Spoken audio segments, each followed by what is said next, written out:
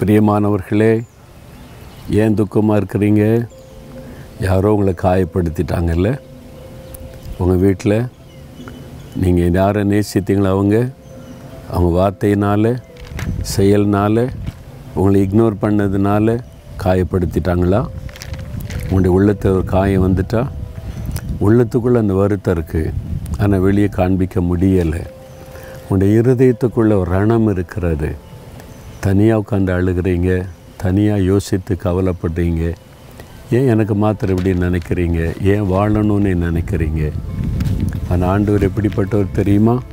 நூற்றி நாற்பத்தி ஏழாம் சங்கீதம் மூன்றாம் வசனத்தில் இருதயம் நொறுங்குண்டவர்களை குணமாக்குகிறார் அவருடைய காயங்களை கட்டுகிறார்.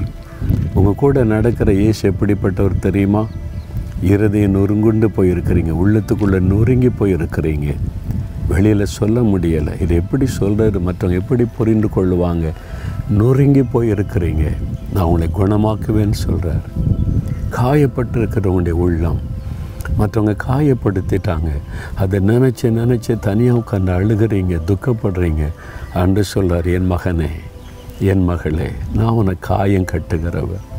நீ நொறுக்கப்பட்டு போயிருக்கிற உள்ளத்தில் வேதனைப்பட்டு காயப்பட்டு இருக்கிற உன்னை நான் புரிந்து கொள்ளுகிறவன்.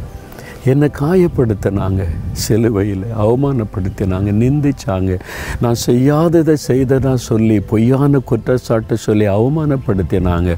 நான் நேசித்து என் கூட இருப்பாங்கன்னு நினச்சவங்க என்னை விட்டுட்டு ஓடிட்டாங்க.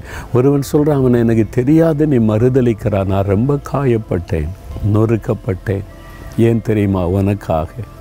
நான் அந்த சிலுவையில் நொறுக்கப்பட்டு அவமானப்பட்டு நெருக்கப்பட்டது உன்னை குணமாக்க உன் காயத்தை கட்ட.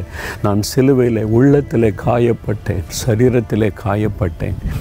நான் உன்னை புரிந்து கொள்ளுகிற தேவன் என் மகளே என் மகனை நீ இன்றைக்கு கடந்து செல்லுகிற இந்த வேதனை எனக்கு தெரியும். நான் உன்னை காயம் கட்டுகிற தேவன்.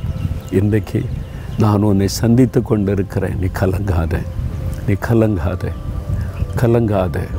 உன்னுடைய வேதனை என்கிட்ட சொல் என்று ஆண்டவர் உங்களோடு பேசுகிறார். தகப்பனே இதோ இந்த மகன் இந்த மகள் காயப்பட்ட உள்ளத்தோடு நிற்கிறாங்கப்பா.